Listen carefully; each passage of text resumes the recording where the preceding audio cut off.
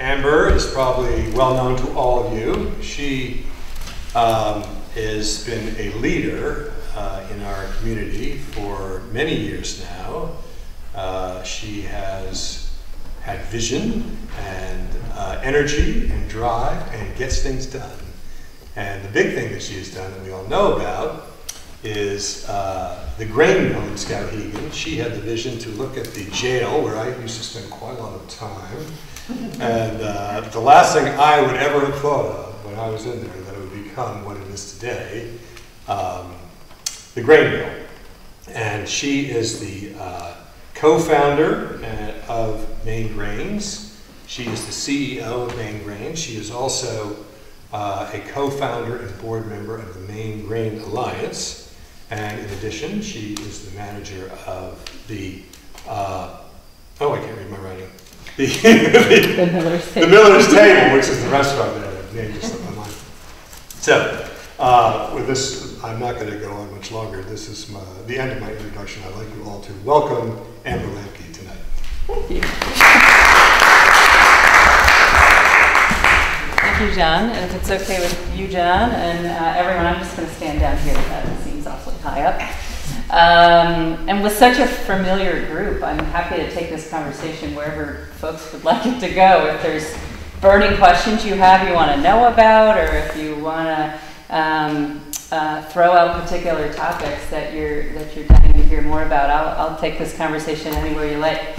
Um, um, and thank you for having me. These kinds of talks are fun. I was telling uh, John and Cheryl that I was up at the Embden Historical Society about a month ago, and that was very fun to just realize what do people in the local community know about, um, uh, what have they heard, and what questions do they still have. So um, I'll give a, just a brief summary, and then um, I'm happy to sort of dive into particular topics. But um, as John said, I've been in the community about 20 years. Uh, I grew up in Brunswick, Maine, and went away to college to uh, get a master's degree in communication disorders. And I was practicing as a speech language pathologist back in Portland, Maine, when I met Mike, uh, contra dancing in North Whitefield. And uh, we had uh, a fair bit of time of commuting back and forth while dating. So I was visiting Skowhegan while he was living on the back road. And we bought our first house on Water Street in Skowhegan, that uh, yellow Victorian that used to be kind of a dusty blue, uh, right next door to a sister Victorian, right next door to it, that has a barn in the back that is shared. And we bought that house, and then we visited John for our marriage license, only to learn that there was like a waiting period that we didn't know about. And so, uh, so we couldn't get our whatever the document was you needed to get married without John's permission to uh, skip the waiting period.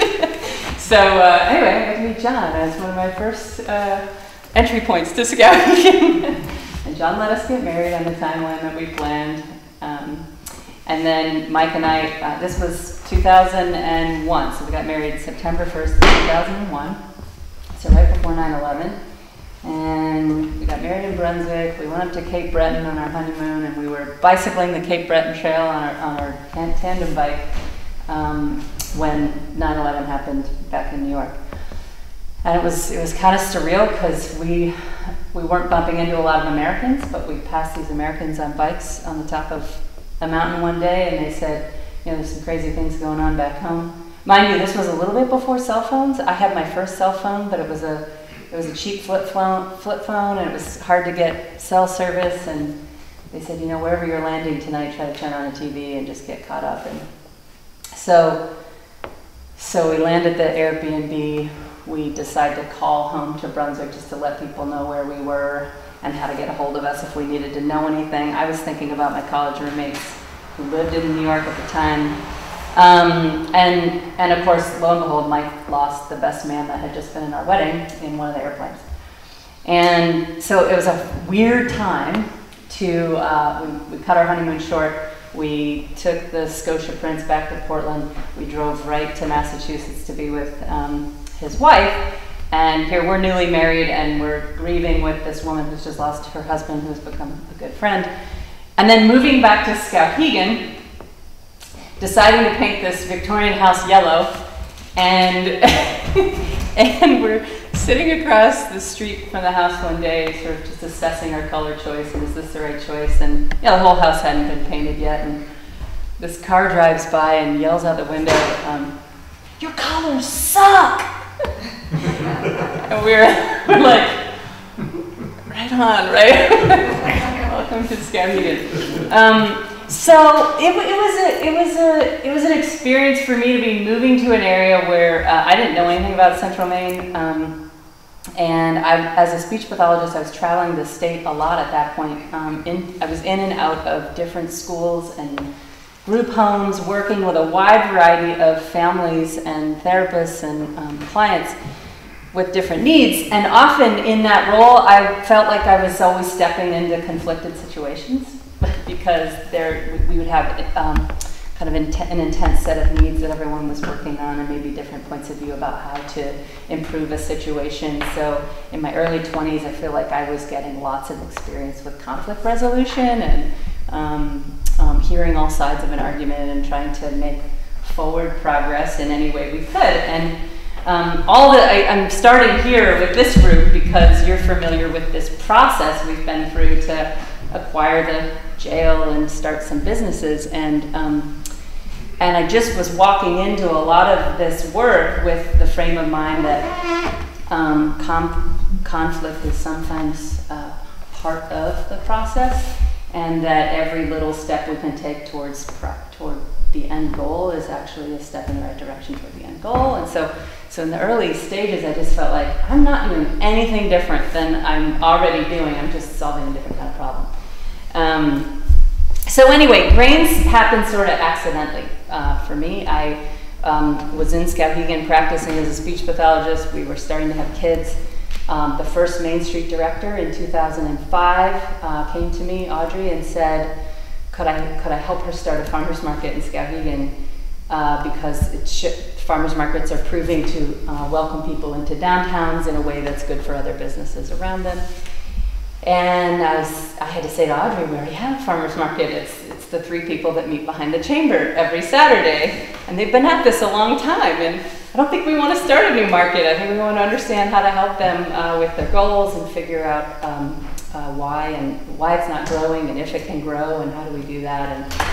And um, so I, I reached out to Billy Barker at the time, who was the market manager, and I said, um, how can I help? What do you need? Um, what, what are the obstacles and, and can we work together on figuring out how to grow the market larger? And, and I met in that process Charlotte Hillis, Mike Vermette's wife, who was not a real active member of the market. Mike was the face. You all know Mike Vermette, the Highland cattle. Yeah. Uh, so Mike was the real face of the market. But Charlotte was behind the scenes um, sending flowers and sending bouquets of flowers and helping with anything she could do in the market. So she came forward at that time, showed up at, the, at our yellow house with a bouquet of flowers and said, Hi, I'm Charlotte, and I'm here to help, and you know, let's, let's work on all this together. So that period of time from 2005, 6, 7, 8, when we were focused on how to grow the market larger was really I tell people it took no money at all. It just took um, getting to know each other and knocking on doors and welcoming people in and figuring out how we could partner with groups to grow the farmers market, which was very successful. Um, you remember that it took a step from the Chamber of Commerce over to the Grange parking lot when it grew to 12 vendors. And then at one point it was 21 vendors and it still needed to go to a larger place. And um, so those years, I think I was uh, just branding myself inadvertently as someone who could get things done. And, and I, at that point, I still had never written a grant. I wasn't running a business. I was just helping out the community. Um, the Barden family from Maine Wood Heat, they had become good friends of ours. And Albie was starting to build these beautiful wood-fired ovens for bread bakers in Maine that were asking um, where they could get more locally grown wheat and why we weren't growing more wheat in Maine um, as part of this kind of surging local foods movement. And if you remember some of these challenges that were coming out at the community level, you know, can you eat within 100 miles for a week or, or whatnot? You have your wild cards like black pepper and olive oil, and wheat was often a wild card in these challenges. So we were asking ourselves, why is that? And we've grown a ton of grain um, in this region in our history, so how come it's not happening anymore? And Albie had tried to get a, um, a gathering, or he did get a gathering together in Albion uh, in 2006, a very first conversation with Michael Scholes, my business partner and friend, um, and a couple of farmers to figure out um, how do we cooperate more around grains. And then he came to me for help and he said, Look, I need help with the organizing. I think we need to be having more conversations that, um, that, that will shine a light on grains as an important topic for the area. So the Kneading Conference was born out of that desire uh, among a grassroots group of us to start conversations between farmers and millers and bakers and oven builders about, you know, that first year the question was if we could grow grains. But what quickly became apparent after the 2007 First Kneading Conference, we had about 75 people there, and one of the uh, um, agricultural historians uh, from Maine, Mark Fulford, came and said, you know, Somerset County grew 239,000 bushels of wheat in the mid 1800s. That was enough to feed over 100,000 people just in Somerset County, back when planting and harvesting was being done by hand and horses. And so um, that changed the conversation pretty rapidly to not if, if can we grow grains, but how do we restore that knowledge and what's missing to do that again. Uh, Michael Scholes, uh, it, my friend, I met working at Pine Tree Camp in our college years. And um, he later married uh, the nurse from the infirmary at camp that he had been smitten with all those years, Julie Phelps, who's now a family physician in Waterville. Um, and we both realized we had moved back to this area at about the same time uh, with our families. And he was baking bread out of one of Albie's ovens in Albion at his house and driving to New Brunswick, Canada to buy his flour, uh, a heritage variety that was being freshly milled by a really small mill in an old cob barn um, uh, at a mill called Speerville Mill. So after that first kneading conference, I asked Michael if I could jump in the car with him and go see what a mill looks like. Because we had all these empty buildings in Skowhegan, and there was this Main Street effort trying to imagine uh, what could occupy all of our empty buildings and who would restore them. And a lot of these Main Street uh, conferences that I was going to as a board member then at the time, I spent six years on the board of Main Street, um, it just felt like the, the, the attention at these conferences was how to lure the wealthy developer from out of state to your town to sell them on your white elephant building, and maybe they will have a good idea for it. Um, and so I, I just, I, at that time, I was starting to feel like, well, what does that have to do with these surveys we're putting out in Skowhegan uh, for what the people want here. you know, we, if we want a bookstore and we want a coffee shop and we want places to stroll and we want more in-town gardens and all of that, you know, it does, is someone else going to solve that for us or should we be focused on how we can solve that for ourselves? And so I, so I took that trip with Michael to go see what a mill looked like and I was kind of stunned at how small it was. Um, you know, the barn itself was no bigger than this space and it was two stories and they were sending grain to the top story and, and gravity feeding down to very small mill machines. Um, mean, here he was driving all the way up there to pick up flour for his baking operation and bring it back to Albion. And then I was driving all the way to Albion uh, to pick up a carload of bread every week to bring back and sell to all of our friends here in Skowhegan. So, um, so in any event, milling in my mind started to feel more tangible, and what we were learning at the kneading conference was that farmers were lacking um, the machinery that would take weed seeds out of wheat.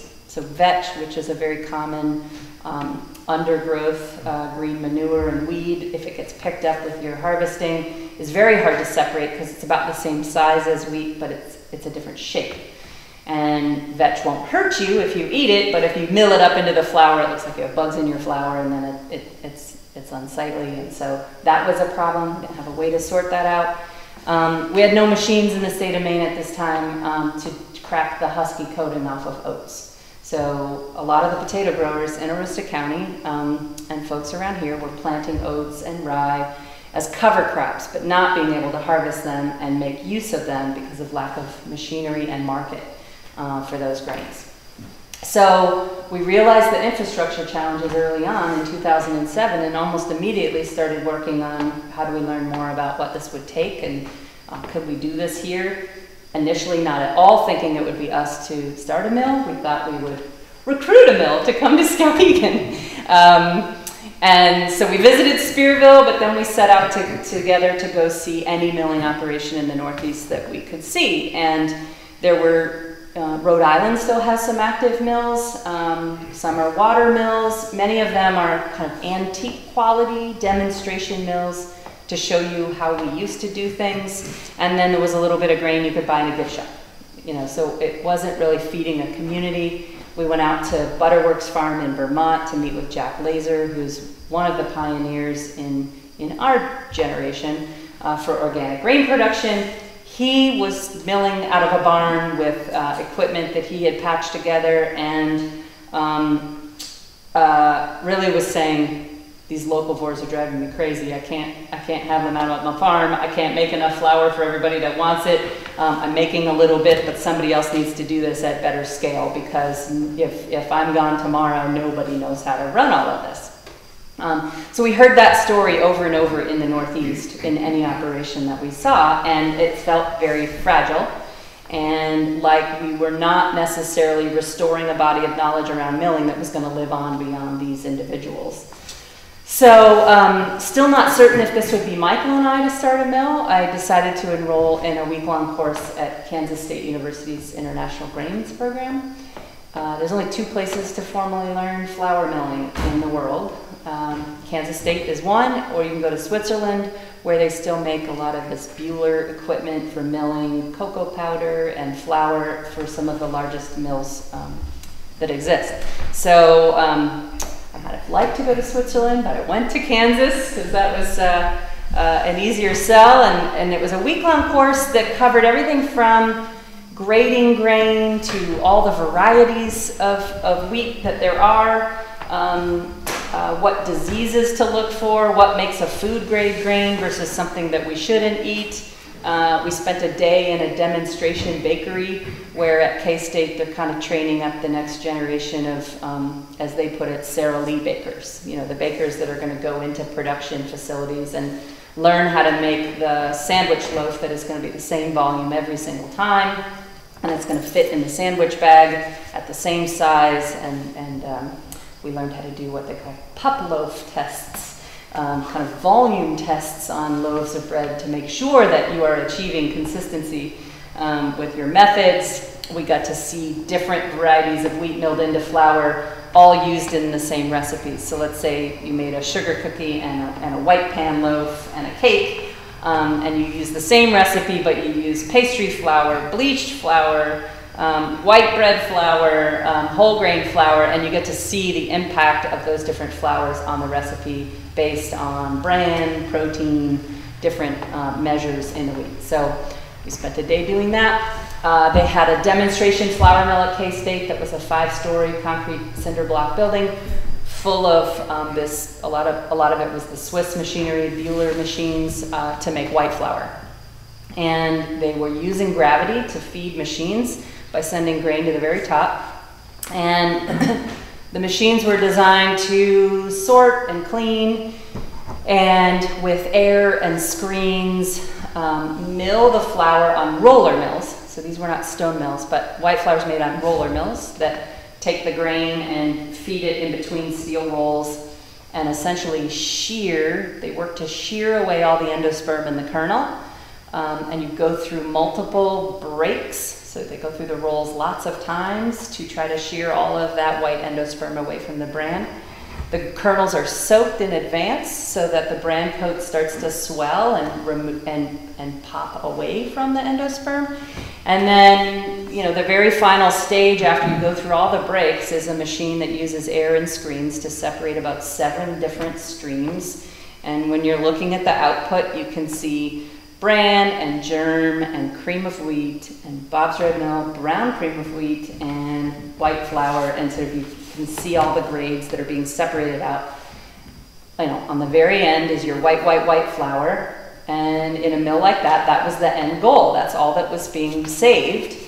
Um, that drops down another floor, and the very final stage is to dump these powdered nutrients back into the white flour, churn it up, and then bag it up as flour because you've just removed all everything that was healthy about the kernel has just been taken out.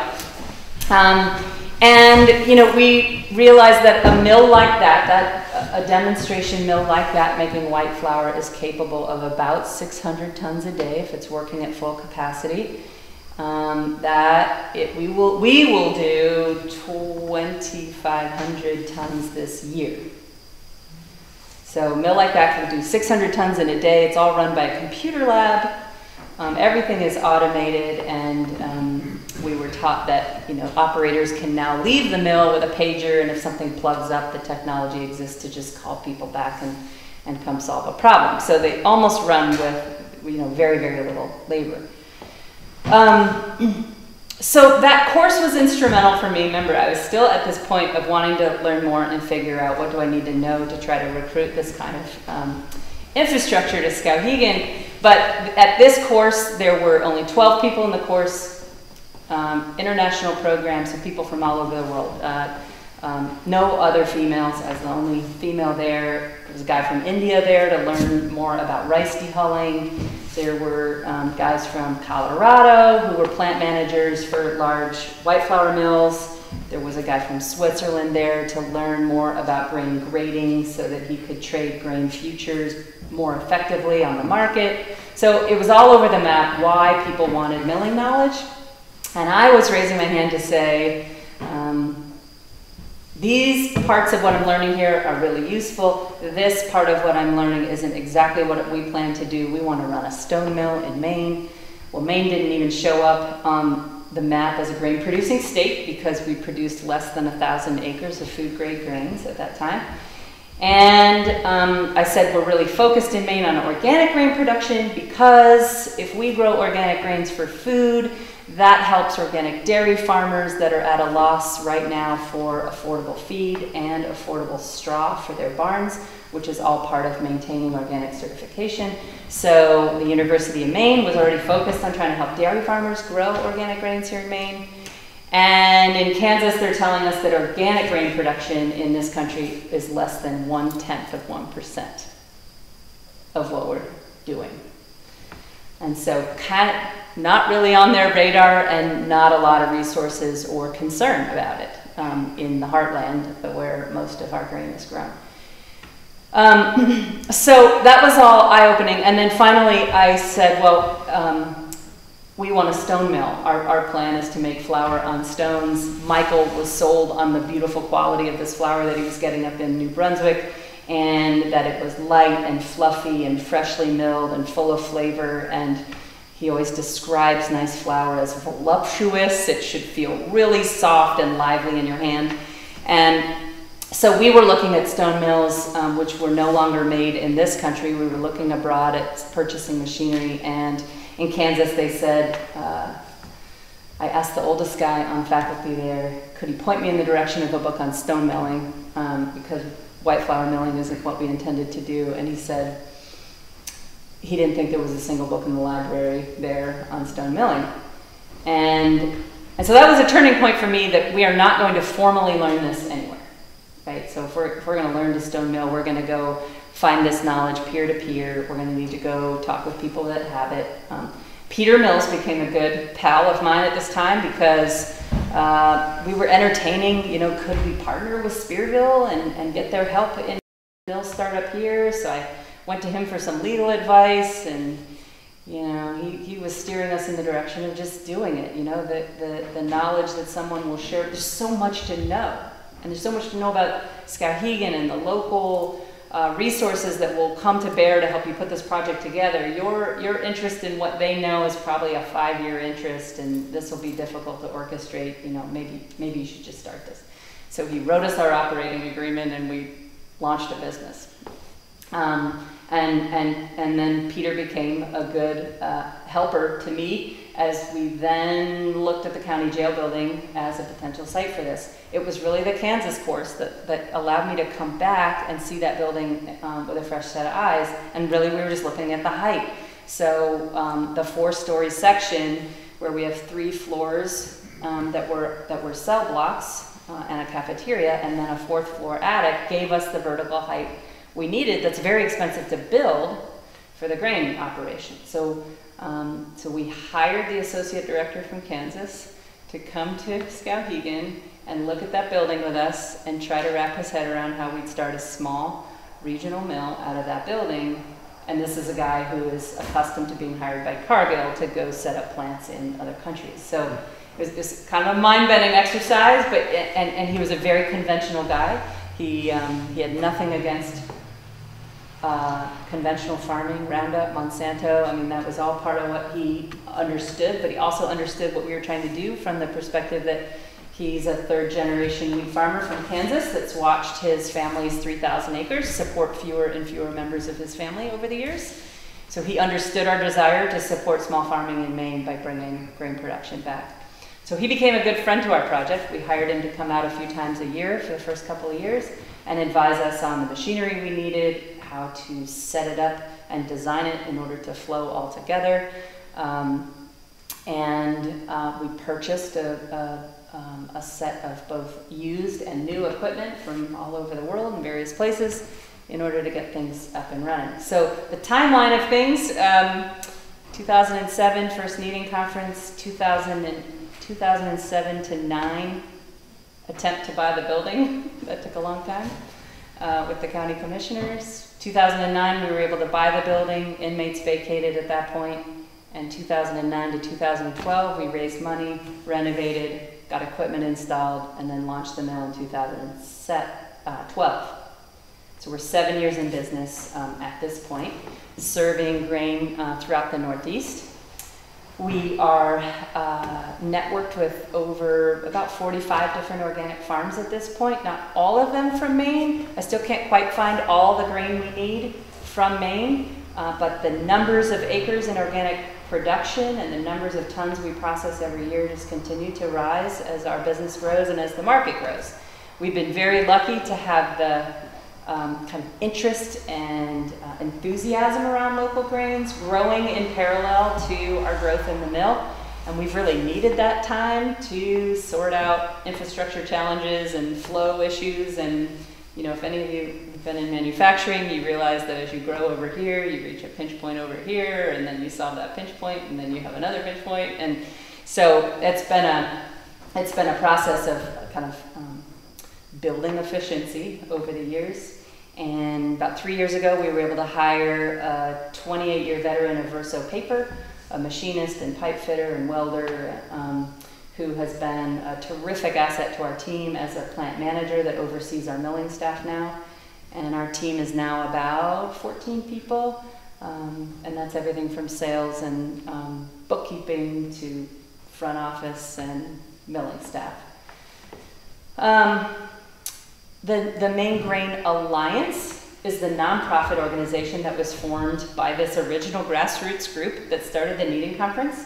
And in parallel to our mill project, the Maine Grain Alliance has grown to uh, do a year-round slate of activities, not only our flagship event, which is the Kneading Conference and Bread Fair, but year-round educational events. We give technical assistance grants to grain-based businesses in Maine to help them scale what they're doing.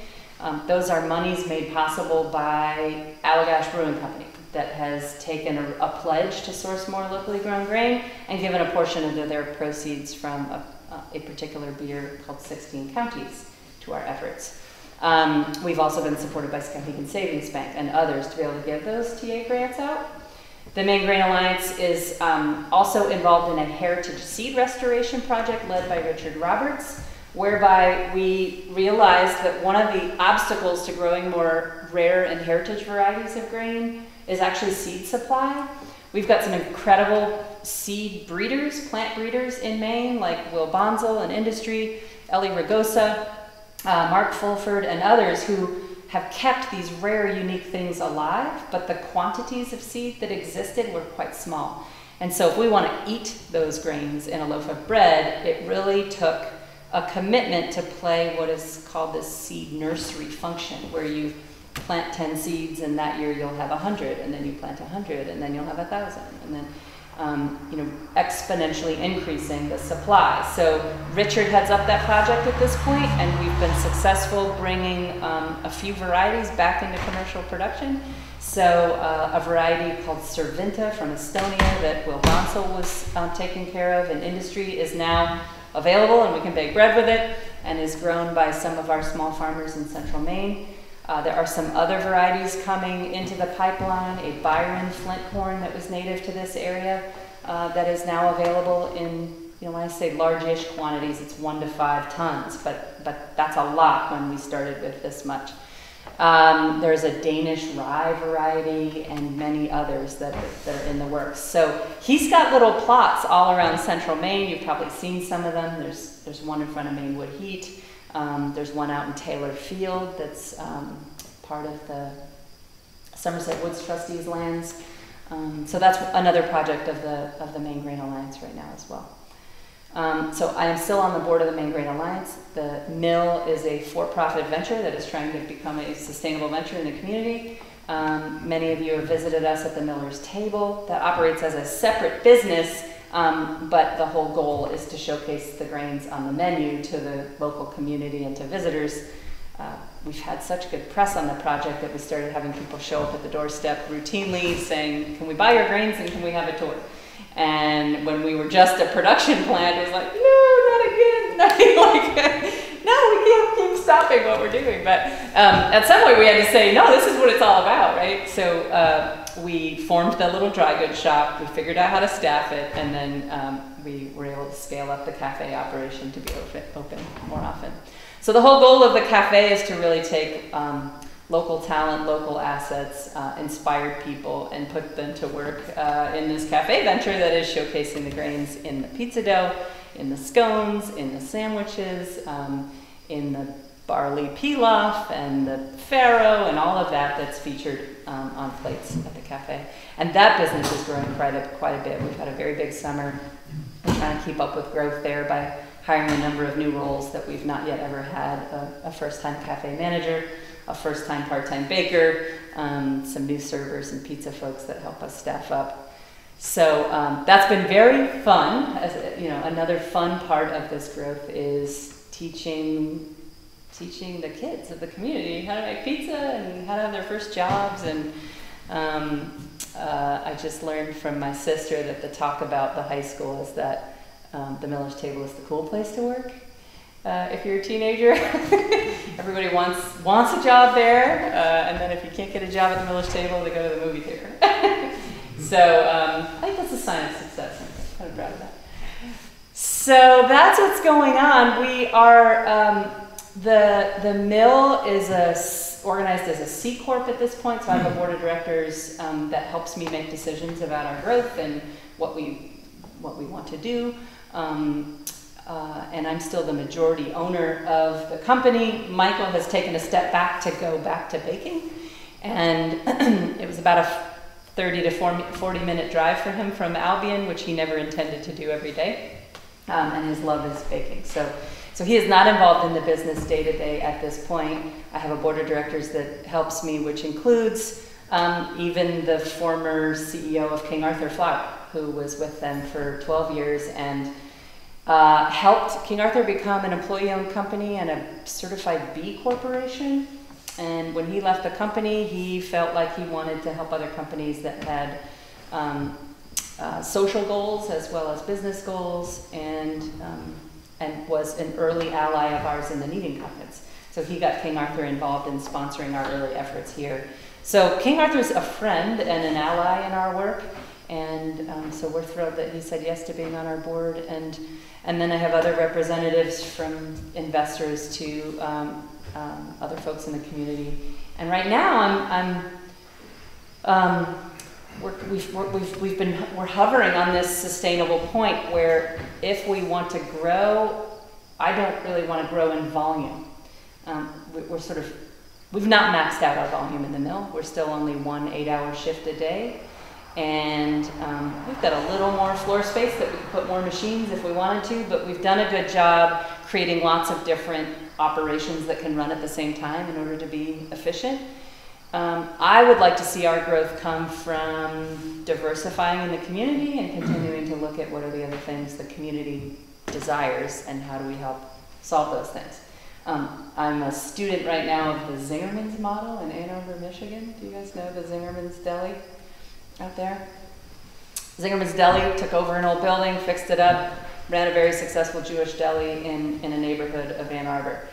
Um, when the deli became really successful um, and they wanted the best quality bread for their deli sandwiches, they were driving an hour and a half away to go buy the best bread and bring it back for sandwiches every day.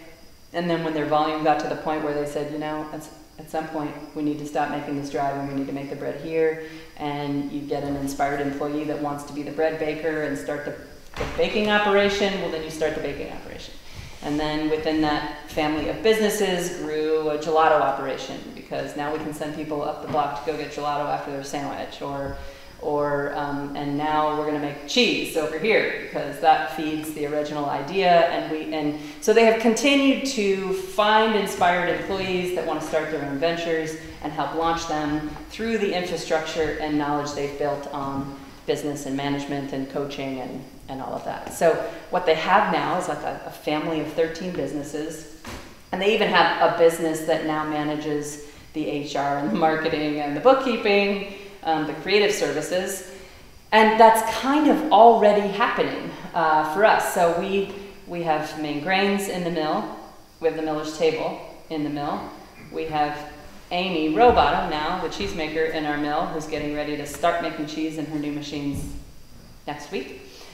We've got this knit shop, we've got the radio station, um, and we've got other ideas about things we could be doing down the future, down the road. So uh, so I think it's, it's already starting to evolve this way where we are, as we speak, in the position of advertising for a full-time bookkeeper because Maine Grains has only ever needed 20 hours of a book, bookkeeper's time, but Miller's Table needs five, and Amy needs five, and the Maine Grain Alliance needs 10. And so we're going to package that, and we're going to make a full job for somebody who manages all the pieces of that. And so that's kind of like the beginning of a creative services that somewhere down the road could encompass more than that.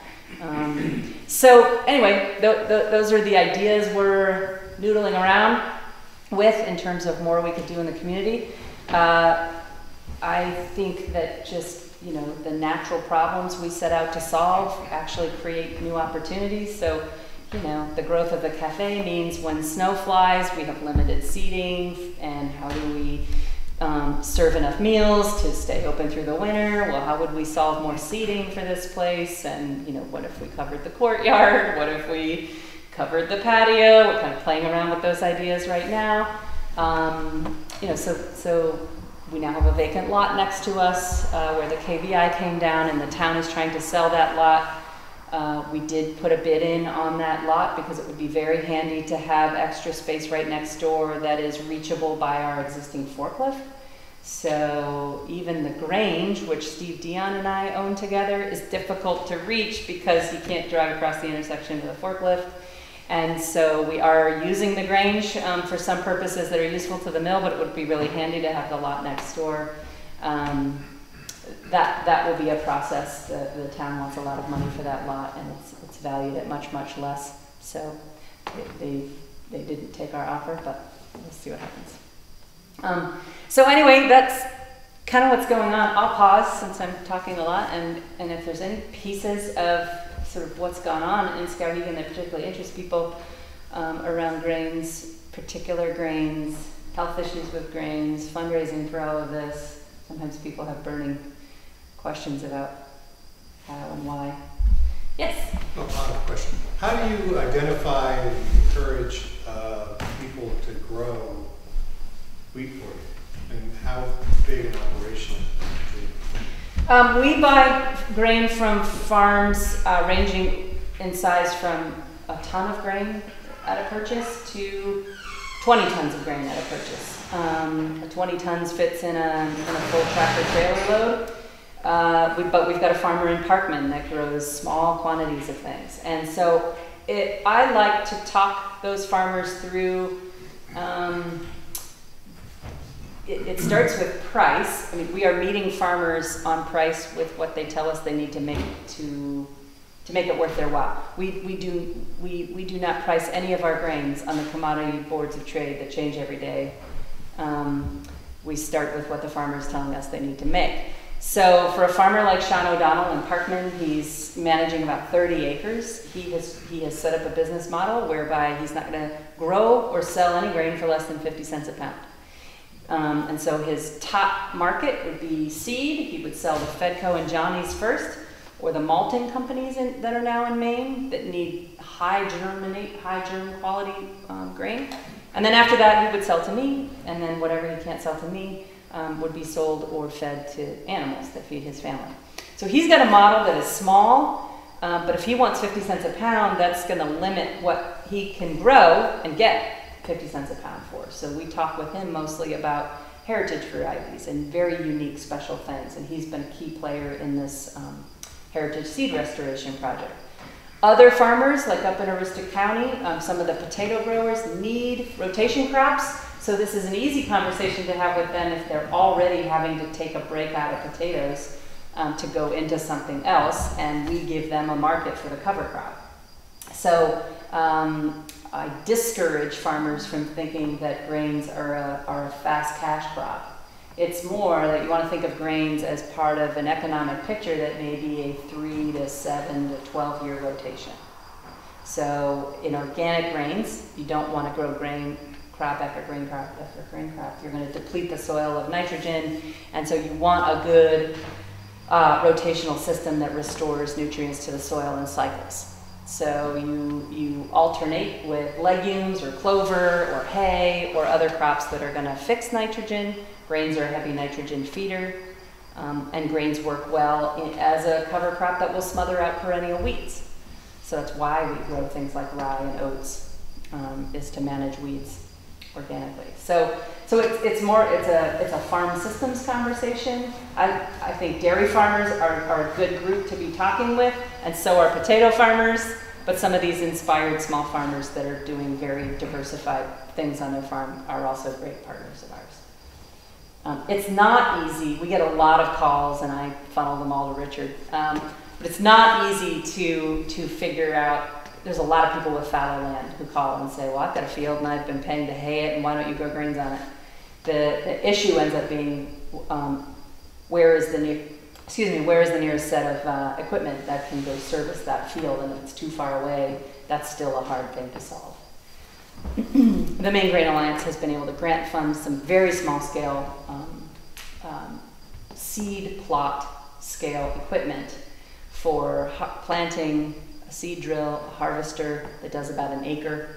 It's a, it's a ride around harvester, looks like a lawnmower, um, and some screen cleaning equipment that could do very small scale seed plots. And that can all be hauled around on a trailer, but it's not enough to harvest five acres or 10 acres. With all the breweries that are springing up statewide, I remember hearing talk of going into a malting operation. What became of that? Is it still in the works or is it that malting operation did start, they just chose a different community to get started in. So um, that operation was Blue Ox Malt House, and they landed in Lisbon Falls in an industrial park.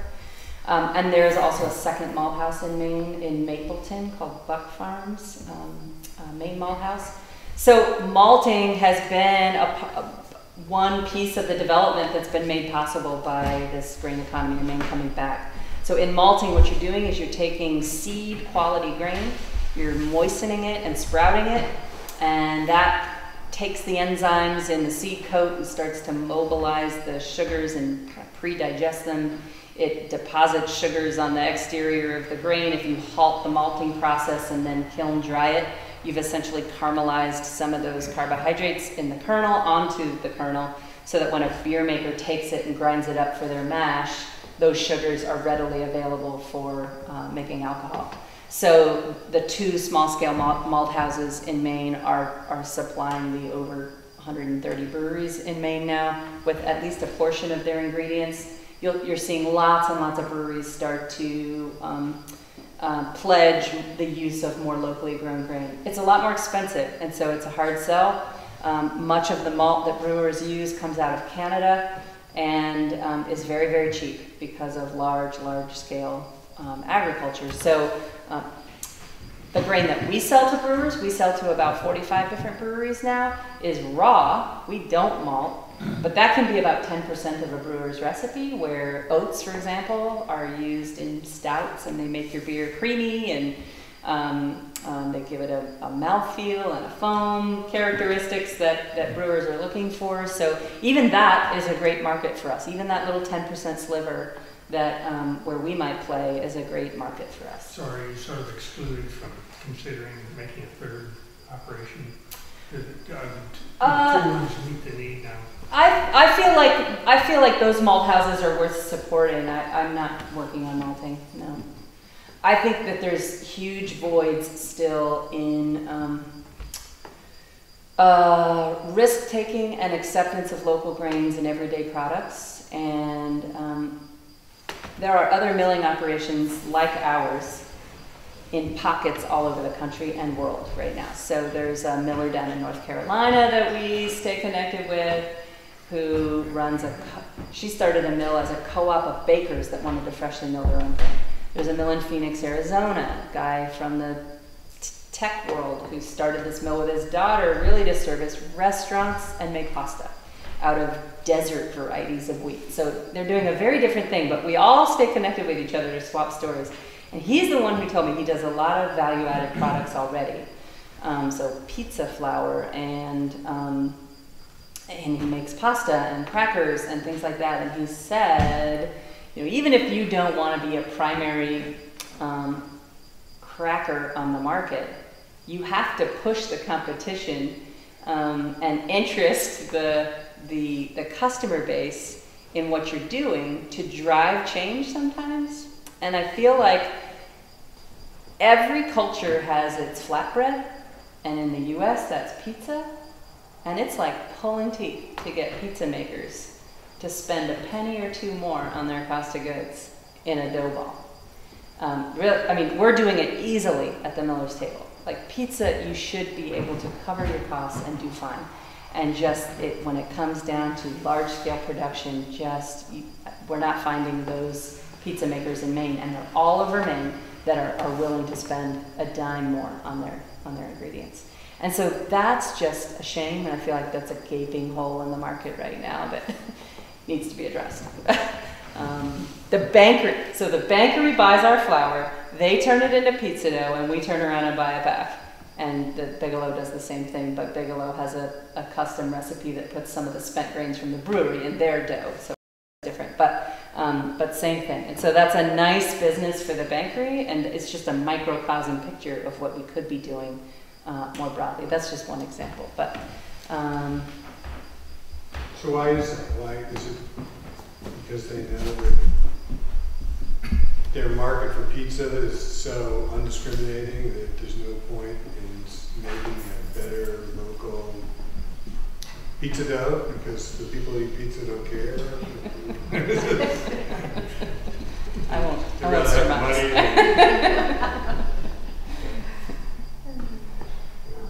Yeah. So Amber, when you um, sell grains to brewers, what what do you do to the grains before? Do you do any? Do you crack it, or do you do anything to it before it Yeah. goes to the brewers?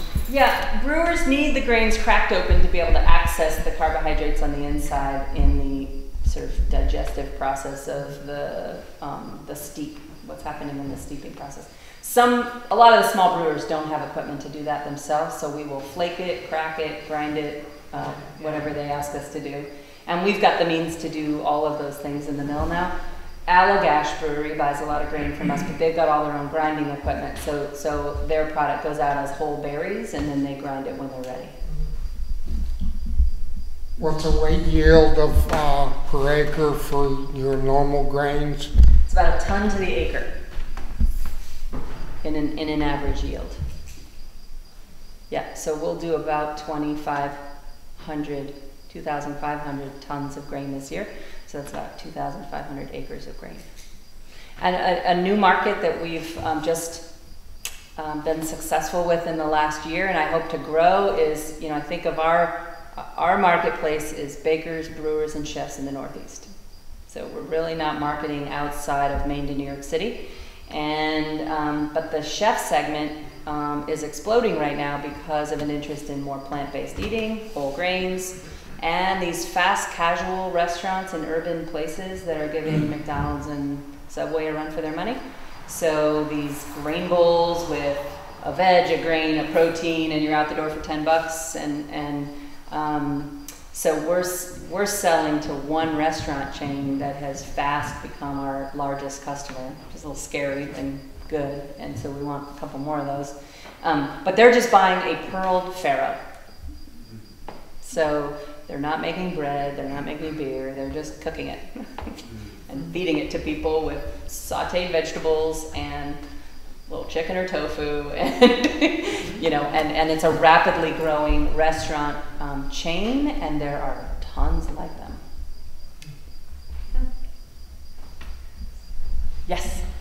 Could you speak about the role of the university and the agricultural yeah. uh, system of the university? yeah. The university of maine has a program up at the rogers farm now for studying grains and we've been very lucky that that program has been funded with some sizable grants in parallel to our development of infrastructure and milling so that I, if, if a farmer needs um, technical help growing grains, I'm sending them to the University of Maine. Um, so it is a cooperative extension program led by Dr. Ellen Mallory and some colleagues up there. They got funding to study organic bread wheat production in Maine for several years, and that project allowed me and several farmers and millers from Maine and Vermont to take our first trip to Denmark to meet millers and um, growers over there. And it was my first uh, encounter with small scale millers that were doing exactly what we wanted to do. Um, and then, so that led me to go back again and meet with the couple that were really at the scale that I thought we wanted to be at and learn even more. They've continued their work at the Rogers Farm. They do um, field tours up there, and they've been able to find other funding to focus on different grains. So right now they're focused on oats. Um, they've also, with the rise in interest of breweries in Maine and using local grains, they've gotten some money to study malting barley varieties and what will do well in Maine. So um, that's been a terrific resource, terrific resource for us. And Ellen Mallory sits on our board of the Maine Grain Alliance in order to bring that perspective. They acting along with this as a liaison with farmers for marketing purposes for you all? Expanding the, uh, the growing, growing sector? Um, a little bit. They they've never been funded to do a major market study, which they'd be interested in doing. But it's that kind of it's the push pull of do you do you start making a product and and start finding your market, or do you study the market first and then decide if you're going to make something? Um,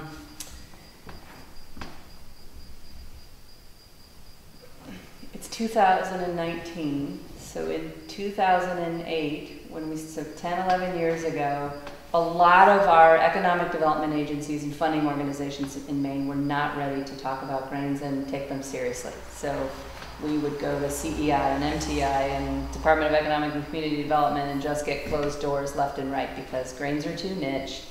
If you're talking about creating a food hub, well, maybe we'd be interested in talking with you. So, are you going to develop a distribution business? Are you going to are you going to help build storages for farms? It's like they, it's like there's a there's a there's a focused attention on a particular issue at any point in time, and they were not ready for grains 10 or 12 years ago. So, so it really pushed us to find other innovative solutions for fundraising and, and all of that, and we just started. Now that we've had success, now everybody wants to talk about grains. And so now MTI is funding grains. Now Focus Maine, this new think tank in, in Portland, which is business leaders trying to create new jobs in Maine. They're all about grains and the value chain of grains. Um, CEI is funding grains everywhere, everywhere. Now everybody's interested. So there's some more uh, focus on marketing, but I would say mo- most of the marketing and sales we do is all driven by our own two feet. Are your grain um, acreage being infringed on by the hemp production? Um, we haven't lost any acreage to hemp. We've seen um, interested farmers who never quite pulled the trigger on grains decide to go hemp instead. We've seen that happen. Um, Maine, Maine is a big state, and we have Oh, a lot of land, and even the farmers growing grain for us have a lot of access to even more land. So I, I'm still hopeful we can keep expanding what we're doing, even if hemp takes off. There's, there's a lot of, I mean, I, um, we now run out of rye, and I end up having to buy rye from elsewhere once I buy up everything I can find in Maine. Um, these new fast casual restaurants that need organic spelt, there were three farmers growing spelt for us, and we gobbled that up really quickly. So now there's an opportunity to encourage farmers to grow more spelt if I want all of that to come from Maine. All of our spring wheat comes from Maine. All of our organic oats come from Maine. Um, all of our buckwheat comes from Maine. All of our heritage grains come from Maine. Um, I still, I don't know any Maine farmer growing pastry wheat yet, and that, you know, that's a 10 or 12 ton opportunity for somebody. And that's just a softer variety with low protein that makes great pie crust, and, and the folks in New York all love to grow it. So I end up buying that from upstate New York. Heritage flint corn is another one that um, it's happening, but it's it hap- um, uh, the farms around here that have grown corn are growing dent corn for cows largely. And while you can eat that, it just doesn't taste that great. And so we're only buying these flint corn varieties that have a little more flavor and um, application as cornmeal and polenta. And so those are just, it's harder to find enough of those quantities in Maine just yet. So I'll buy a little bit from seedsmen in Rhode Island and Vermont. And Oh, I just had a thought, which was that, I mean, we're, we all love Maine, is, is that an important part of your, I mean, let's say I was visiting from New Hampshire and walked in here, I'd say, how come, what's the matter with New Hampshire grain? Why, why Mhm. Maine? Is that, is that part of the, sort of the shtick of the whole thing, that be Maine, or would it make a big difference if you said we just buy things in New England? It, it's interesting. Um, some people will say that the the image of a food product from Maine com- comes with it um, an inherent trust and sense of integrity and hardworking people and cleanness um, because we have you know there's this perception we have clean air, clean environment, you know, healthy forests, water, whatever, right? So there's there's that, but I'm also watching. Um, uh, food companies in the, the who want to scale that are getting advice from venture capitalists right now to drop their locale because if you want to go national, then um, the folks in New York and then later in the Midwest aren't going to care that you're from Maine. They're going to want to just know that it's a good product and it's tasty and so we've we've seen that just happen to a couple of companies where they've decided to drop the association with Maine um, in the hopes that they're really going to scale. Uh, we're still just focused on being a regional business, and I think that for us, my experience is that um, even in New York City, you've got a lot of people who either vacationed in Maine or they've been to Maine, they have fond memories, and then they see your product or they come to know your product and they like it because it, it conjures all these fond memories. And, and so I, I think that's helpful. Um, and and we are I, I, I never used to think of Skowhegan as a destination tourist spot but there's a ton of visitors that come through the mill come through the dry goods shop and the cafe that are from other places that adore coming up here and i almost sold your house for you Oh, good, good. uh, with one the other day from Boston who's ready to come join her friend who's living in Cornville. And I showed her the pictures of your house and she said, That's exactly what I'm looking for. but, like, you know, I, I feel like I meet that kinds of people all the time. Well, you should look at the book, the, the little guest book here at the South Solon Meeting House. People come here from all over the place. Yeah. Montana. And our, and thank you for hosting some Kneading Conference guests, but these folks come up for the Kneading Conference and Susan Cochran puts them up with um, house hosts throughout the community and they just rave about these experiences. They rave about how we live and all of our trees. Our, our keynote speaker was from the UK this year, um, Nottingham, and she just could not get enough of how many trees we have and she just wanted to be outside for as much as she could while she was here because we don't have these trees where I'm from, and and we hear this from people driving up from Rhode Island. my trip just gets greener and greener as I go up the highway. I love coming up here every summer. I just want to mention if there's um, anyone that's interested in financing for growing grains or any other commodities, I work for the Farm Service Agency and we offer low interest rate loans. And we also have, um, if anyone is already growing crops, we have a market facilitation program where we pay fifteen dollars an acre for, um, for anyone that is growing eligible crops under that program. What's the name of the organization? That's great. I'm sorry, What's the name of the organization? Farm Service Agency. We're right located in Skowhegan, right on the East Madison Road. Hmm. And I have information here if anyone's interested. Before I forget, I want to offer you all um, a coupon for five dollars off pizza at the Miller's table for coming out tonight.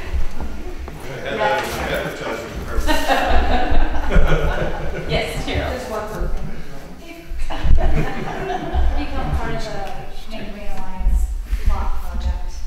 Um, I would hop on the website, mainegrainalliance.com. There's a newsletter you can join, and you can reach any of these key contacts for the different projects um, uh, that we oversee. So the, the website is the best resource. Our, I was the first paid part-time executive director of the organization, um, and have passed that on to um, Tristan Noyes, who grew up on a potato farm in Aroostook County and uh, has been running a lettuce operation with his brother.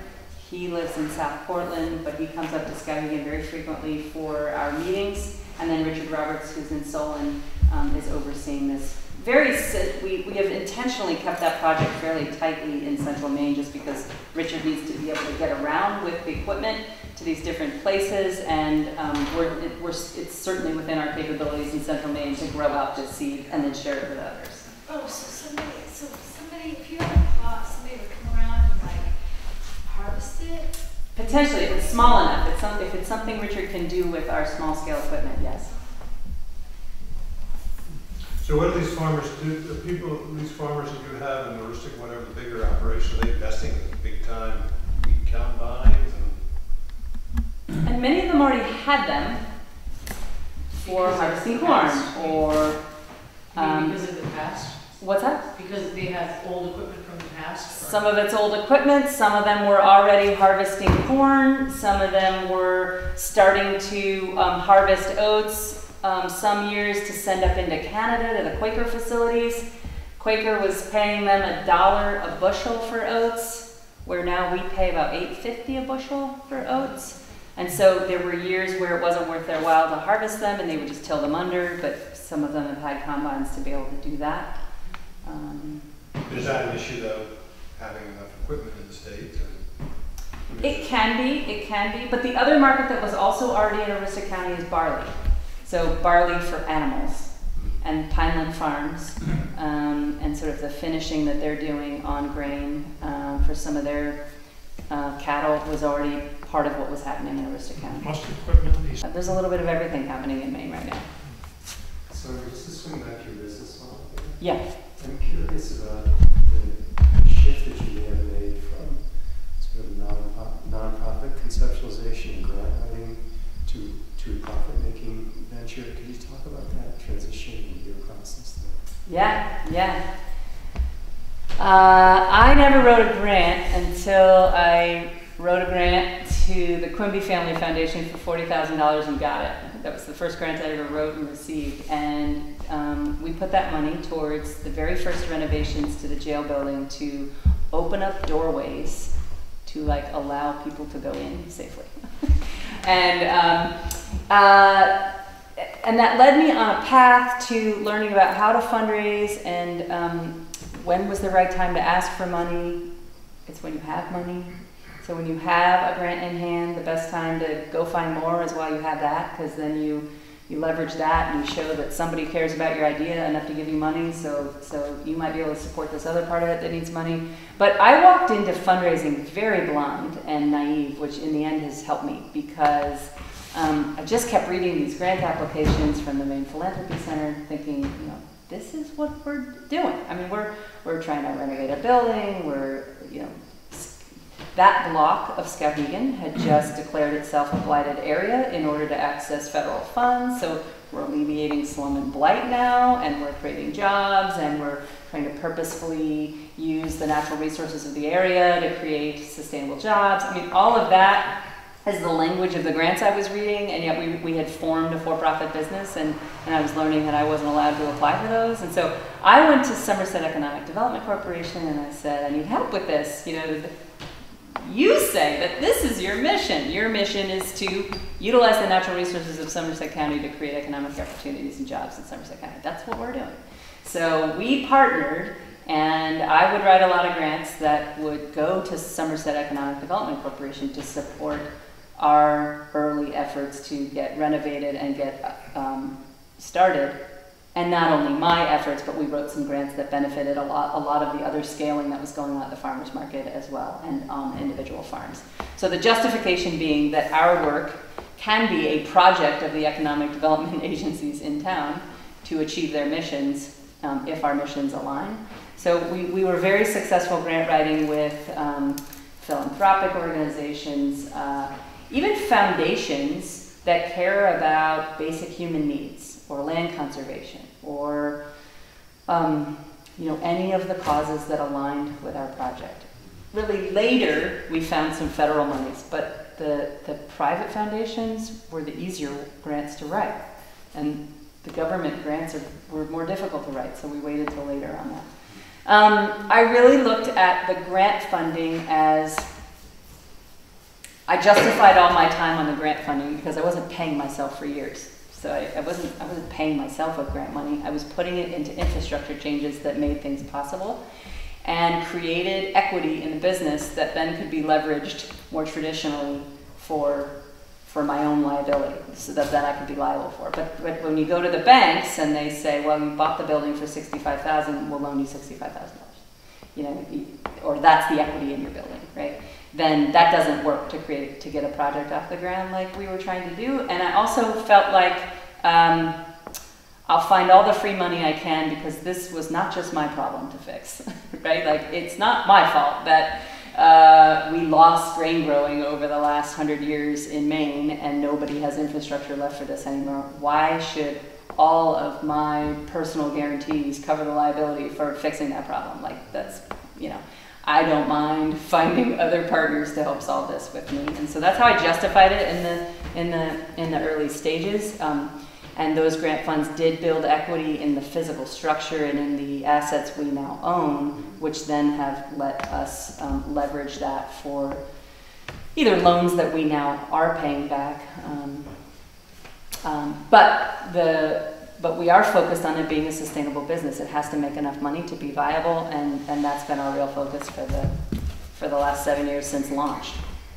So initially, I heard you correctly, you, you actually needed to uh, identify yourself as a nonprofit in order to make those initial grants, and only later uh, to transform that into a for-profit organization, which could leverage those original grants. We, we always identify, when we formed the mill, and again, this is separate from the Kneading Conference and the Maine Grain Alliance, I've actually never used the Maine Grain Alliance as an umbrella for our stuff.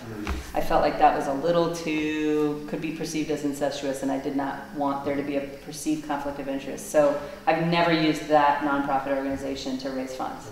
Um, uh, we, I, we formed and identified ourselves as a for-profit mill from the beginning, but we partnered with Somerset Economic Development Corporation, Main Street, um, and others to do that kind of, and KVCOG to do all of that kind of grant writing. Uh, I failed to say at the beginning that we do have an end time. Well, there. So We don't want to wear you out, but uh, I think uh, we've come to a point, I'm looking at my watch, where it's probably appropriate to say that this is the end. Great. If you want to hang out and answer a few more questions, uh, that would be great, but if people feel that they have to go, you can go. So, Thank you all for having me. This was and fun. thank you very Chat with